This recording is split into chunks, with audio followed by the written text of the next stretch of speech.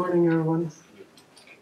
Next week, we'll be listening to a lecture by one of our graduates, Jose Pagan, who will tell us about how you should stay in school forever because the outside real world is torture. You actually have to meet deadlines. You're gonna just play around. You have to actually commit yourself to doing some work. You have to actually show up. These are inconveniences of great degree. So you will hear his story next Thursday. Today I have the pleasure of introducing you to Dr. Silvia Figueira from Santa University. And uh, I would like us to welcome her warmly.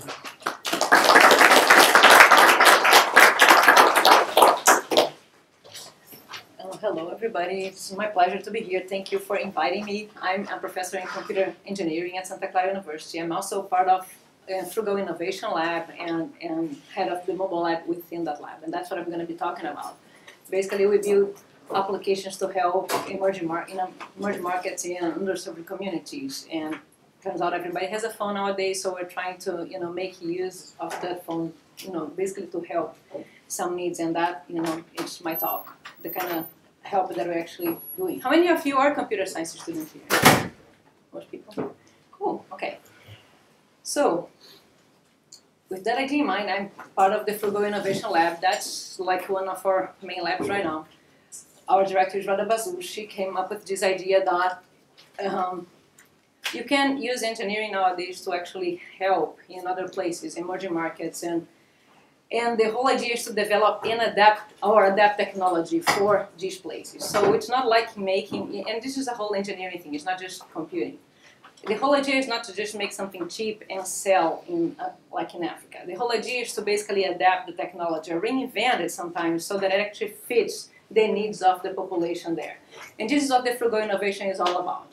We have three main eyes, I guess, instruction, innovation, and immersion. So, you know, we teach the students about the whole idea of frugal innovation and, and how, you know, to adapt or reinvent technology for these places, and then they participated in projects, and some of them actually go to places to deploy this technology. So we have been doing this for like three to four years, and it's actually growing a lot these days, especially in my part. So when you think about frugal innovation, you know, the lab came up with a, a set of core competencies. What's frugal innovation anyways? How do you adapt technology? What, what makes it frugal? And again, frugal, not the same as just making it cheaper and simpler. It's actually making it fit into the needs. So going around just for you to get kind of an idea, starting in the red one over there, it needs to be rugged because sometimes, you know, weird things are going to happen to whatever device you're coming up with. So we need to make it really robust and, and so that it can get wet or get stepped upon and stuff like that. It needs to be human-centric. Basically, needs to the technology needs to be developed with the you know the people in mind, not just to make money, but it needs to fit what the people need. It needs to be simple. Complicated things just are not gonna be useful in certain places. It needs to be local. Need, most of the time, it's really key to actually use the local resources for the technology. You don't want to be importing from other places. You want, you know, things that are gonna be using the resources from the local community. Of course, it needs to be affordable. In some of these places, people make way less money than than we are used to. So things, if, if it's really expensive, it's just not gonna happen. It needs to be green. Some of these places are off the grid. They don't have power, or they have power some parts of the day. And so you cannot count that and electricity is going to be there all the time. It needs to be lightweight because sometimes it's going to be carried, and if it's heavy, it's not going to work. It needs to be adaptable. Basically, you have to adapt to different languages sometimes and to different usages, and little things may actually help you to sell in different neighborhoods or different communities. Last mile distribution is another important one. These people in some of these villages, they don't have access to a TV. Here, you know, you come up with a new technology and it's on TV the next day and everybody knows about it. Or, you know, on the web. These people don't have that. So if you want to sell something, you actually have to go all the way to people to show them. Check it out, I have this and may help you to do that. So this is the last mile distribution. You have actually to go to the customer. So these kind of give you an idea that the technology needs to be different than what we're used to. The last one know, that we have here is mobile. So phones are everywhere and they are helping a lot. So it's actually really important for for different technologies to actually use the idea that you know the phone may be an interface for that or the phone may be helping a business because they don't have computers or Wi-Fi, so the phones may actually be substituting that. So these are the main set the main set of, of ideas that usually this frugal innovation actually help. By the way, if you have any questions, feel free to raise your hand because yeah, it's all good. Okay, if this idea of mobile in mind, that's me. I'm the head of the mobile computer lab, which is a lab within the lab. So inside the Frugal Innovation Lab, I have this mobile lab, which basically does mobile solutions for emerging markets and underserved communities, communities that actually doesn't don't have access to you know the same things that we are used to, like Wi-Fi all the time and computers everywhere and stuff like that. The reality is phones are everywhere nowadays, more than we can imagine. Everybody has a phone, and I'm going to show you some numbers that will show you that. But there are lots of constraints. It's again not the same. We expect right now, right, to have a smartphone and Wi-Fi 24/7 and access to the internet all the time, everywhere. When it's off, it's actually annoying. If you're in a place and there's no signal, ah, oh god. So we kind of take that for granted. It's not the same in some of these places. So different, there are different constraints. First of all, power. Some of these people cannot plug their phone every night. So you have to kind of take that into account. Connectivity. Sometimes there's no Wi-Fi, and a lot of the projects we do is based, based on SMS because that's all they have. The phones are simpler. Not smartphones are not everywhere yet. So we deal with some simpler phones that we call feature phones in some places. There are not like a total dumb phone, but doesn't have they don't have the same capabilities as a smartphone. And there's restricted access to data and Wi-Fi. Sometimes you only have like text and just text with text, not pictures, anything like that. So the constraints are very different. Just to show you an idea of what's going on in, in the mobile scenario, and you probably heard about that before. The, the, phone, the mobile phones basically they they have a, a, reach that is like unprecedented. There, no other technology has had the same kind of reach. Lot, these phones are going everywhere, and Wi-Fi signal is, is spreading like crazy, and even like connectivity is spreading like crazy. So just to give you an idea, from 2003 to 2010, it's like a seven-year, seven-year spread. We went from 61% to 90% of access to mobile cell signal, which is an amazing, like you know, change in a short period of time if you see, look at that graph, I know kind of blurred, but the green line is the global population. Okay, so this is 1900 and all the way to 2015, which is like a projection. The green area here is the fixed line subscription. That's the growth. The blue is the kind of like the mobile subscription amount. So you can see that this is the population and this is the growth of where the mobile actually signature signal is going. It's an amazing, an amazing growth. Turns out that number shows that 75% of the world has access to a solar phone right now, and it's actually growing. So we're probably gonna, you know, getting pretty close to a place where almost everybody has access to a phone. So it's a pretty impressive piece of technology, and it's like an interesting time to actually use that technology, you know, to help some of these communities that, you know, otherwise wouldn't have access to communication information and things like that. And you don't need to go across the globe. You can actually look around in our own neighborhood and there are some interesting numbers. So CTA is an organization in San Jose, South Bay, that actually used technology to serve homeless people. They did some, some research and interviewed people on the street in San Jose where there's about like 5,000 homeless people and they interviewed a lot of people and realized that they're already using phones for lots of different things. 65% use phones for searching for a job, and 71% of the disability people actually have a mobile phone. And they found out that 69% of these people actually own a cellular phone. So the homeless people actually, a large percentage of them have a cellular phone. And 54% of those people, about half of the people with a phone, actually have Uh, data access. So they actually have access to data when you know they're using their phone. This is a pretty impressive number. So we start you know working on projects to actually use that information or use that capability to you know build things that actually help them because the needs are different than the needs of you know the people that we are usually dealing with or the people for whom you know most people develop apps that are on the iTunes store and stuff like that. Okay, so phones basically are helping people everywhere. That's the reality. It's happening, and it's like incredible the kind of projects and the kind of ideas that people have. So these are some examples. M-Farm is a, a little company in Kenya founded by some very young women that they saw that the farmers were really isolated, but they actually have these phones. So they came up with this idea that, you know, they came up with this app that enabled the farmers to actually communicate so that they know what everybody else is planting, what the prices they are charging, and they, you know, use that information to actually do a better job and make more money and help each other, actually. Another fa famous one is M-Pesa. This is mobile banking in Kenya and Tanzania. So people had to walk in some villages, they had to walk a lot to actually go to a bank to actually get money.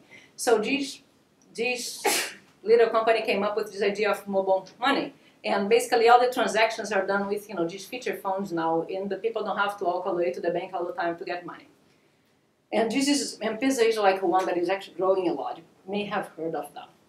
Frontline SMS is another another little and enterprise that actually grew a lot. They started using like SMS to broadcast disaster information in Asia. So there was one big storm that it would hit, and there was all these people who live far away, and there was no way to reach them. And basically, they came up with this so that they could actually send a text message really fast. Everybody saying it's coming, you know, go get out. This is the route to actually get out and, and send information around. Since then, Frontline SMS is actually growing a lot, and a lot of tools are using that just to send SMS in, in different places in the world. OpenMRS is another one that was created for managing health information, and it's right now is used in Uganda as like the standard for collecting information. The, the problem was that in some of these villages, they don't have a clinic or a hospital, so they have a bunch of, of kind of like health mm, clinics. And a health worker goes around in the village, is actually taking care of people, and they come back. But there was no way to keep information, so they would go check on people, give them medicine, and come back. Next month, and they would come again, they would forget everything and what that person had and stuff like that. So somebody came up with this idea of you know using a phone to grab information, and the phone sends back the information to a database. So next time the person comes, they can actually download the information about that patient and remember. And probably thinking, don't the hospitals do that already? Yeah, they do, in the hospitals you guys go to. But in these places, there was no such a thing. So this was like a big, actually, step so that, you know, next time the person came, we could remember what the person had before, which was not there before. So the phones are actually helping to collect information and send back to a database. Any questions so far? It's all good? Okay, so what do we do in this scenario? We do lots of projects to either, you know, come up with new ideas or helping some of these little companies that are doing something good. So I have a course in the spring called Mobile Project for Social Benefit, and some of the projects start from that course. I basically give students some ideas, and we go from there. And also run projects with, you know, in lots of different styles. So senior design projects, all the seniors in Santa Clara have to have like a senior project. Some of them will do in that area. Or independent projects, and a lot of the students do summer research projects. So they stay in Santa Clara for the summer working in, you know, some of these. And these are the projects that I'm gonna kind of talk about. There's right now there's three lines of projects that we are working on. One is basically helping homeless people. We do a lot of those because we met these, you know, folks from CTA and they already work with homeless people, so they have lots of interesting ideas on how to help them. We also help social enterprises, and I'm gonna talk a little about that, and also develop kind of like apps to interface device so that they become simpler and cheaper. So I'm gonna talk, give some examples of the projects that we actually do. Okay, homeless people. Yeah. Turns out that cellular phones are a powerful tool to basically get people out of poverty. Every time I talk about this in places, people look at me like, first of all, homeless people don't have phones. And no, yeah, actually they have, and I showed it out. And then they think they have all the questions about how do they charge it and how do they pay and there are always lots of questions because you know people are not used to thinking of homeless people as people who have some money. These people, most of them, they are not moneyless. They're just homeless. They sometimes have a job. They just don't have enough to pay for a house at that moment. So there are lots of families on the streets because you know the dad lost the job and they were like on a month by month kind of basis and suddenly they don't have money for the house anymore. So they are on the street, but they actually have money. Very little money. But it, they, having the phone is so important that some of them will eat less to pay to be able to actually use the phone. Because if you think about it, how do you get a job if you don't have a phone? How do people call you back, you know, for an interview? So how do you browse the internet to actually find jobs? So phones basically are a very strong tool to get, to get people back on track and get people a job and a house and out of the street. So after realizing that, we've kind of have been helping CTA to come up with like ideas on how to help people with phones by using the phone. So uh, basically the main information here is that a large number of digital knowledge people have the phones and they really rely on them. So basically to connect with family and friends and there is a study that shows that the, the people who actually have the phones actually have less of a problem of depression because they keep in touch with family. So they don't go like all alone and, and yeah. So this is an important part of the whole having a phone. To ask for help, you know, there are problems on the streets. Believe it or not, people actually rob homeless people, so or beat them up, weird stuff. So they can ask for help if they have a phone. To find shelter, and to find jobs and housing and other things. So having a phone is a pretty big deal for them because they don't have any other way to connect with like you know world. So all these things actually help us to come up with some solutions that actually may help them even further because they don't have the same needs that we actually do, right? They, their needs are different. They probably not gonna play a game or they're not gonna be on Facebook a lot or tweeting or something like that. They really want to be able to receive calls and call. They want to, you know, to have access to texting and browsing is really important for them, basically to find jobs and things like that. So one, the first project that we did for CTA, we call Street Connect, is an announcement tool. This is a collaboration with CS in Santa Clara and CTA. So this is a tool to enable service providers to send announcements to homeless people. So after talking to them, we realized that one problem that this, there's a lot of service providers, eh, organizations that provide service, like shelters and meals to homeless people in the Bay Area, and I guess everywhere. So they had a hard time communicating with these people. Like, you know, if I'm a, I have a shelter and it's really cold tonight, and I actually have a bunch of beds that are actually open, how do I tell people that, you know, I actually have them? Or another important one was when they have to cancel an event. Some of these people will be on a bus two hours to actually go to this place because there's going to be a job fair, and the job fair got canceled, and they didn't know. So they went on the bus for a couple of hours to get there, and you know there wasn't. So canceling events was also one of these you know important events that they need to communicate to people. And job fairs, and, and there's also a health event. So they wanted to be able to send this message saying, you know, here, something is happening. So we came up with this idea of an announcement tool. Basically, there is a website where the, these organizations register and they can actually send announcements to people who are registered. So yeah, this is the idea. The service providers, these organizations, and the user, they need to register in the system so that the system actually, you know, know how to basically find the homeless people and also can actually uh, authenticate the service provider. We don't want other people sending messages just for fun because people do that. So users can select the kind of things that they want to receive information on. So they can actually, when they register, if I'm a homeless person and I log in, I can say I only want information about food, or I only want information about shelter, or I only want information in this zip code. So I can actually tailor so that I don't keep receiving all kinds of things. Because you know sometimes they pay for this tax. so we want them to be able to actually decrease the number of texts that are useless. So they can basically tell the system what they want to receive. And they can also limit the number of text, text messages. So if you know I have a limit and I'm already kind of like getting to my limit this month, I can actually stop it right now and say no more this month because yeah, I don't want to be over my limit. So basically, it looks like that. It's a website and there's a lot of functionality, but the main idea is that you enter the information in there and it gets broadcast to everybody who wants to receive that message in that zip code. Okay. Yeah. And it basically goes as a just a text message. And the users can actually register by just sending a text to a number. And they send like, and then they can say food, and they can text shelter and zip code, and basically the kind of like the settings created so that they only receive those.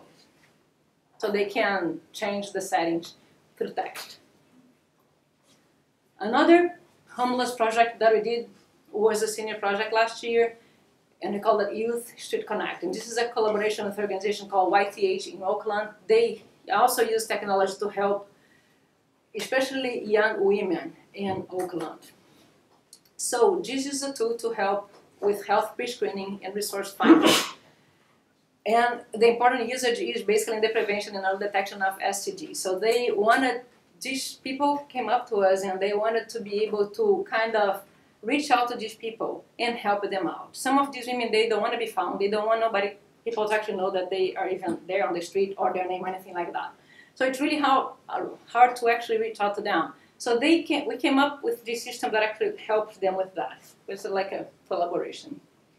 So this is the idea. When a young homeless woman go to one of these clinics that actually accept homeless people, the doctors use a questionnaire to help raise red flags. So they use like a tablet with a, bunch of questions on behavior and you know kind of lifestyle that they answer, and then you know there's a like red flag that may be raised to say this is a person at risk, so pay attention to her.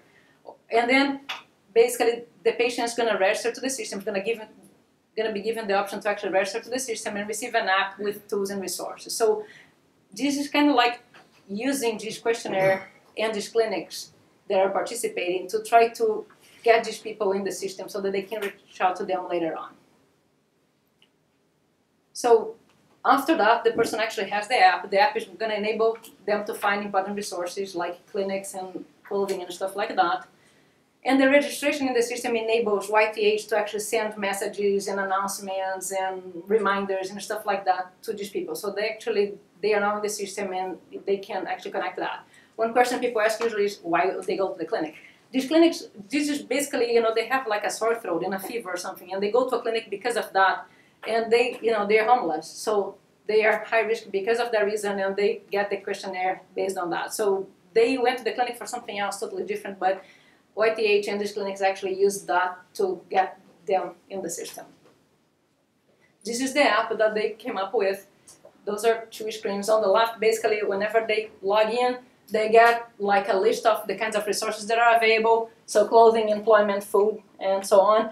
They also have a list of the ones that are nearby right now. So these are like clothing and employment, and a, a, a list of them of the closest ones for where they are. If they click on one of them, you know, they get a map and information where they are and also a rating. So they can actually say if this was a good place or not.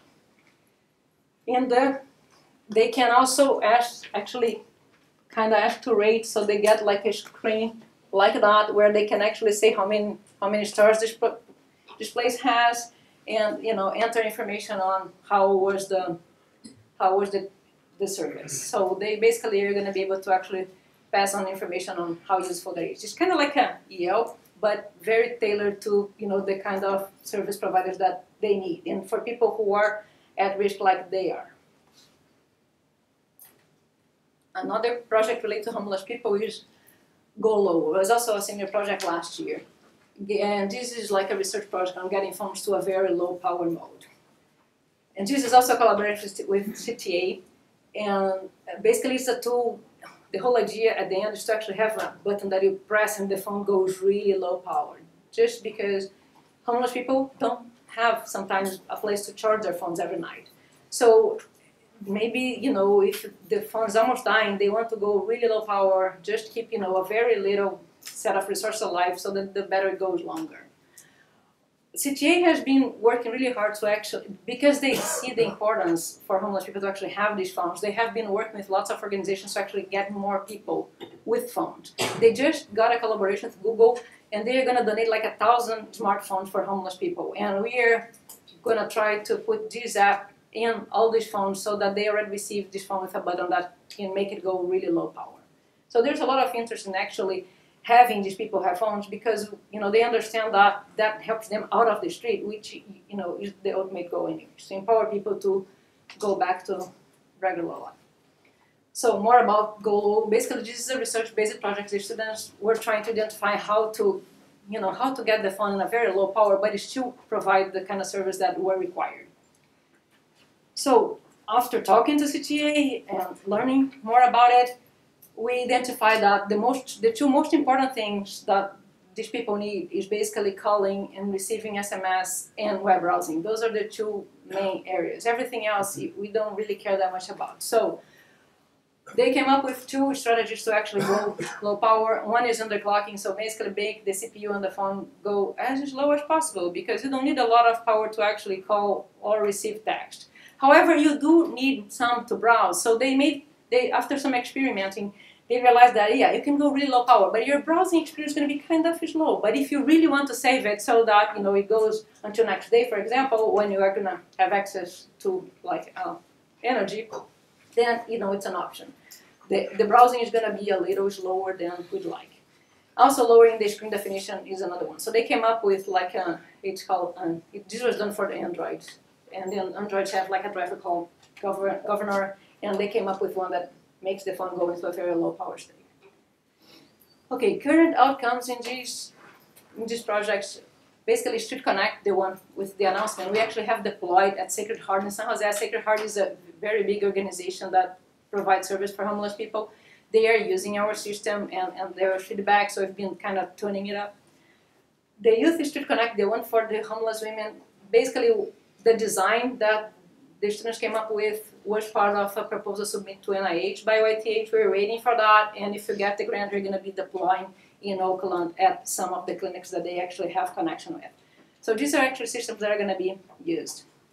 And because of all these projects, we end up having like a hackathon in February, which was like an amazing experience for us. So the students called that Hack for the Homeless, and it was in February, and it was an amazing event. So Santa Clara has a week in February that they call Homelessness Awareness Week. So basically, it's a whole week dedicated to educating people on what it's like to be a homeless person. So they have people come and give talks. They have some campouts that people spend the night in, kind of like a, similar situation.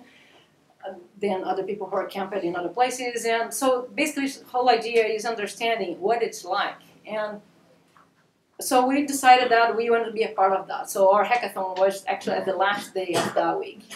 This was organized by our ACM and ACMW chapter, so they actually worked really hard to actually put this together. And the goal was to develop mobile solutions for homeless people. I was really surprised to see that there was a huge interest from industry, and we got money from Vodafone and from Do, and Microsoft gave us phones, and Western Digital gave us also money. So there was a lot of the in, local industry in the valley was really they were really interested in actually coming and participating. Actually, Microsoft, I was surprised they came to the hackathon and stayed there and helped their students to develop the app for their phone. So it was a, a very interesting kind of like day. How did that happen? It was basically a 24 hours, 24 hour coding experience. The students came into, you know, this is a building in Santa Clara. They stay there for the night and we gave them some ideas on what to do, some health-oriented mobile solutions for homeless. But they, some of them had their own, and they come up with like very interesting ideas. And we had some judges from the local industry as well, and homeless association that came to judge. The first prize was uh, called Homeless Helpline, and this was a Santa Clara senior.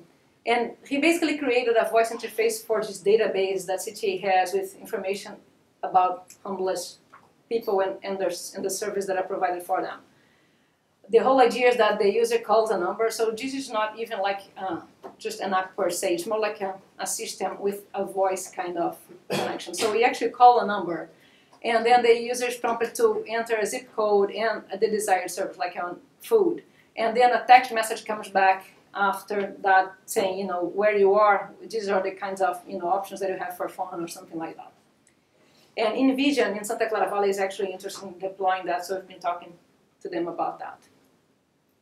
Another idea is the Care Buddy, and this was a, a group of, of master students, and also this ties up with the database. That actually have services and enable people to actually ask for information, and that's the screen they came up with, and basically it ties into Google Maps so that you can find the location and allow restaurants and other organizations to basically post promotions and advertisements. So that was the second prize.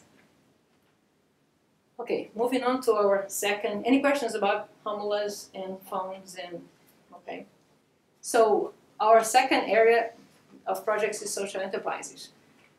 So social enterprises are usually little companies, although some of them are actually growing that are sustainable. So they are real companies. They actually are for profit. They make money. They have to be on their own. They are not based on donations or grants. But they provide some kind of social service, typically in emerging markets. So, you know, like I said in the beginning, M Farm is, is a social enterprise. So basically, these women saw the need that the, the community had and came up with a company actually to provide for that need. They basically sell a service, so they still make money, but they are providing some kind of, of solution for a problem. So we know a lot of these social enterprises through the Center for Science, Technology, and Society in Santa Clara. So we have this center that actually has a, pro, a program called Global Social Benefit Institute. So they basically bring about 15 of the social enterprises from other countries into Santa Clara campus every August to help them to become a better company, to help them to do marketing, to do a better business, to go out for funding. So basically it's a business kind of, kind of idea.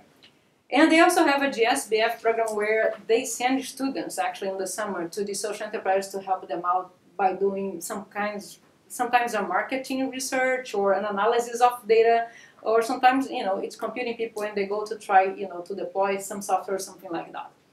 So through G Center, we actually meet a lot of the social enterprises and they come to our lab and we try to come up with some kind of solution that will help them do better job. The other, the other place where we actually meet these people is the Tech Award laureates. So the Tech is a museum in San Jose that actually every year give a prize to some of the social enterprises because they did a good, you know, social benefit somewhere. So meeting these people have enabled us to actually kind of deliver to their needs. The whole idea is that some of these social enterprises, they are in places where there's no computers, there's no Wi-Fi. So for them to scale, you know, how do we scale that? So we, we think in business, we think, yeah, database, computers, you know, why Ethernet? That's not the case. So how do you use the phone to actually replace the computer and sometimes only SMS to actually send information about sales, sales and, and distribution and stuff like that. And that's where we have been helping them to use the phone where there's no computer and to use SMS where there's no Wi-Fi to basically enable them to scale their business to a larger population. I'm not a business person, so yeah, hopefully you get the picture. So the first project, well, not the first, but one of them that we did, it's called Text to Learn, and this was a senior project last year. So this was inspired by one, a social enterprise I met in India. These two students actually, one went to India and the other one went to Nepal last summer through the GSBF program. And they helped in different ways in the social enterprises and they learned that one really important thing and really hard to accomplish in some of these places were training people for jobs. It's like mm-hmm. he, they were trying, they were actually helping to train people and teaching HTML to a set of women in Calcutta. And they saw the need for you know some kind of tool to distribute training information. So that's what Text to Learn is. Basically, it's like a website where the trainer actually enters information, which is sent out for people who are registered. They actually receive in any kind of phone that they have through SMS, and there is a quiz at the end, and they answer back, and then you know in the database you keep track of how they are doing, what they learn, and how the course they got, and stuff like that. The important thing, you need to use technology available in these emerging markets. So it's not like we do whatever we want and how we want. We actually talk to people, understand how it is, where they are, and we try to really adapt and, and develop the solution for them. So this was the idea. Why SMS? Because some of these people don't have access to SMS. So the whole training material had to go into SMS. Whenever I talk about this to people, they say, how you're gonna read like training material in SMS? Isn't that really annoying? Yeah, I think so. But when that's the only thing you have, that's gonna do it. So, and that's what happens. There are, you know, kids in, in Africa who read on, you know, phone phones which don't have SMS. So, you know, it's better than nothing. Way, way better than nothing. So here we use the SMS for that reason. So this is a snapshot of their of their tool. Basically, this is the page where you add the training material. It goes through uh, through SMS to everybody who is registered for that training material. And after that, there is a quiz, and they answer back with the answers. And then the database will keep track of everybody who is doing what and how. Another one another project helping social enterprises we call the Have I Need, and this is inspired by Banana Mobile in South Africa. So Banana Mobile have like a, a set of financial tools, all mobile based and SMS based that and they run in South Africa. We talked to them and they thought that this was something that would be really useful. So just kind of like an eBay idea, except that these people don't trust other people. They only trust people in their own neighborhood. So they wanted to have like a tool that enabled them to exchange things or you know sell and buy things from within their own set of friends. So it's kind of like a private eBay situation. So the important thing is that has a very very simple interface because some of the phones are simple and should work on feature phones. So a lot of the things we have been doing in my lab lately basically is based on feature phones because that's that's what most people have right now. Even though smartphones are are growing a lot, and I'm sure in a short period of time you're going to have smartphones all over the world. It's not like that yet. So if you want to help people right now, you have to work with feature phones uh, in several projects. So this one was done so that you could go on a feature phone. And this is the idea. That's a snapshot of the app. They enable users to basically form this private community. It's based on a list of friends, and the requests need to be approved to be in that list. And you can basically post items, and you can browse items that other people are are ready to exchange the exchange, borrow, loan, and, and etc. So this is basically a, a private setting of, of things. The third set of projects are basically interfaces for devices. The idea is basically using cellular phones to replace ex- ex- expensive devices. This is actually spreading a lot right now. We can actually buy these things here, anyways. When I started doing this three years ago, it wasn't like that at all. But now you can actually go to the Apple Store and buy some of these things, or order them on the internet. So this is an example of an echocardiogram where the interface is on the phone and an ultrasound over there. So there's a bunch of these examples now where basically you have some kind of device connect to the phone and the interface is on the phone instead of a big computer with a big screen. So that enables things to be affordable and mobile, which are really important in emerging markets. So some of these clinics in you know the middle of nowhere in Africa might not have like a ultrasound machine but might have that because that's a lot cheaper because of the phone and the phone's are already available anyway so you know the cost is just to buy you know the piece that will actually do the ultrasound. So these kind of interface is enabling a lot of places to actually have devices that they wouldn't otherwise because it makes them way more affordable. So we did some projects like that and, and this is one of them, H2O Bot, which, which was a senior project. This is a collaboration with computer science, web design, and Max in Santa Clara last year. Basically, the idea was to use this mobile system to turn a tablet into a robot interface. So instead of actually using a joystick to control a robot, use a tablet for that. Advantage is basically easy to adapt to different robots instead of having to buy different kinds of, of joysticks, which are expensive and also to incorporate a large set of features. You can actually do whatever you want with the tablet because you're going to be basically you know changing the code. So when you have the joystick, it's not that simple. So this is the idea. The Android talks to an Arduino board, which talks to the robot. So we kind of finished phase one where you can send out commands to the robot. And now the second portion that we want to do is basically having a video come back, which we haven't done yet. But this is the design that the students came up with. So there's some information that's going to be showing here, like water temperature, depth, voltage. Those are information coming back from sensors on the robot. And the video is supposed to show in the middle, and you're supposed to be able to take a snapshot if you see something interesting. They were supposed to actually have finished that last year, but there was a problem with the video because the Arduino couldn't take the video. It was too much for Arduino. We tried Raspberry Pi also. There was a, a delay. So even though they could do it, there was a delay. So we're going to be working on making it more effective in the next round. Another project was hearing loss detector. So this is a collaboration with bioengineering, another senior project. And the idea is to turn the phone into a hearing loss detector. So there is some kind of device called audiometry device that kind of like plays sounds and you have, um, not sure if I have seen it, basically you put a headphone and this device will play sounds and you're going to tell if you're listening to them or not. So it changes the range of frequency and and and will tell you if you actually how far off you are in the hearing range.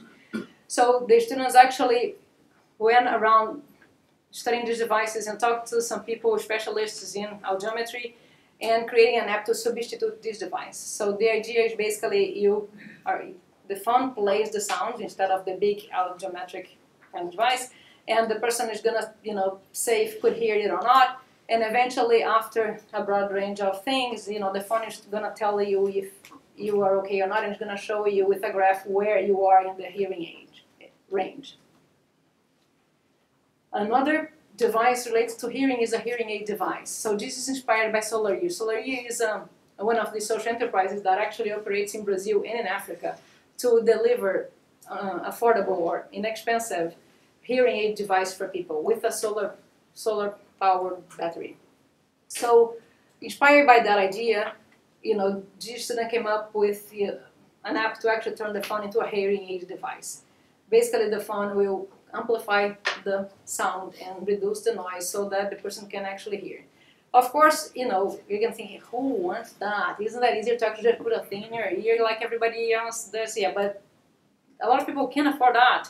And, you know, sometimes they can afford the battery. So this is supposed to actually help where, you know, the other device cannot make through. So this is again another research project has to like study some of these devices and try to develop the app to adapt to that. Oh, on, so the first version of this was actually done for the Android. Now we're trying to actually adapt that to the PhoneGap so that it can go into feature phones as well and, and be used by more more people. Uh, the last one here is vocal pattern analyzer. This is also collaboration in bioengineering. There is a professor in, in Santa Clara that actually has this research on analyzing vocal pattern and that can actually tell you if you have some diseases. One of them is actually Parkinson. Another is basically vocal problems and things like that. So these students actually came up with this system to actually get, you know, record the voice of the person saying something like ah or something, and then basically this pattern goes to, you know, a back end where it does a lot of calculations and then brings back the information saying, you know, how your voice looks like in comparison to the baseline. Basically, this is the idea. You record a voice, send it to a server, and then the result goes back to a phone. The last one is water contamination analyzer, also collaboration with bioengineering. The, the project here is about, is about identifying substances in water. They did a set of, of sensors for arsenic, and they are working now in fluoride. So there are a bunch of different projects going on, and our job is basically to do the the interface for that. So the whole idea is that a lot of people die because of drinking bad water in all over the world, actually. So, and they have to get the water, send water somewhere else to be tested, and bring it back the result. You know, but they are thirsty, they'll drink the water anyway. So if you actually have something that will show right away if the water is contaminated or not, that will be really helpful, and that's what this is all about. So basically there are some sensors that will capture the level of contamination. We go through an electrical interface that we actually get a signal and turn that into a table of voltages that we actually read on the phone and we're able to tell right away, you know, what's going on with the water. So we can show, this is an Android, we can show like that as a couple of, of curves. So the green curve is the baseline, the yellow one is the level of, of contamination, and that's our baseline, which means free. The pink one is the the one we are targeting, and the aqua one is the level of contamination. So the difference between the yellow and the green will give you how contaminated the water is, and we're basically going to show right away a green or a red screen saying yes to drink, not okay to drink, and on the spot. And we also actually mark on a map, you know, the spots that actually have been kind of measured and that we know what is okay or not okay to drink. Okay, I only have two more minutes, so uh, I'm just gonna talk really fast about the projects that are going on right now, not a lot of details. So this summer we work with oh, six actually. Social enterprises, one was Esoko, which basically enable enable people in agricultural markets in Africa to communicate and exchange information, we actually they were complaining that the tax they send all the information through SMS, but they pay by SMS. So how do you decrease that? So we are coming up with like a compression library for them to make basically decrease the number of texts that they are sending. Solar Ear just talked about that, is the one that actually come up with with hearing devices. They're affordable. We're helping them with a, a system to gather information on the field. So they go around measuring people. They want to gather all that data. So we're helping to install to deploy a, a, a tool that actually help with that. Ziqitza is um, uh, emergency emergency service in India. So they don't have 911. So these people came up with like a private 911, and we are coming up with an app that actually calls them and gives the location that they can come pretty fast. Sala Uno is about inexpensive cataract surgeries in Mexico. and we are creating an SMS-based system to basically interact with the patients by sending them announcements about, you know, it's your time for a review, or it's time for you to come for a checkup, or yeah, or you need to check that surgery again, something like that. So we're building that system for them.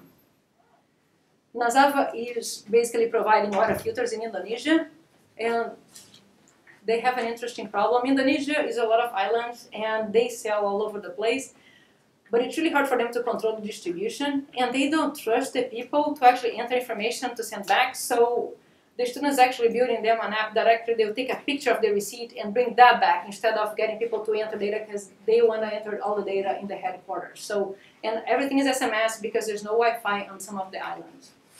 Clínicas de Azúcar is basically a, a social enterprise trying to help people in mexico with diabetic diabetic problems so the students actually came up with a system for them to, to enable them to send educational material to them about diets and things like that. So the whole goal of the enterprise is to decrease the number of people with with diabetes, but also to actually help people not to get there. So they are educating people instead of just treating them. That is my last one, just in time. So if you want more information and take a look at my project, this is the website where all the projects are described in. Thanks for coming.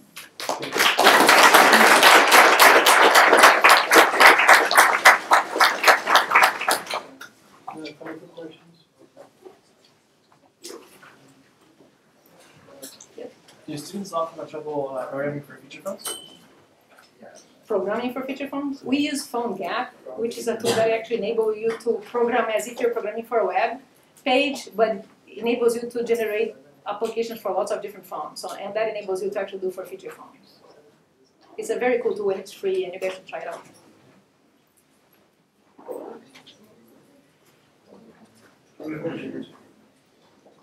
Yes. Could you repeat that? So, yeah, right now we use this tool called PhoneGap. It's a it's an open source tool. It's free. You can download, and that enables you to actually make an app as if you were programming for the web with HTML, CSS, JavaScript, and jQuery mobile. And you can pick a set of different platforms and generate an app for different platforms. That's what we've been using.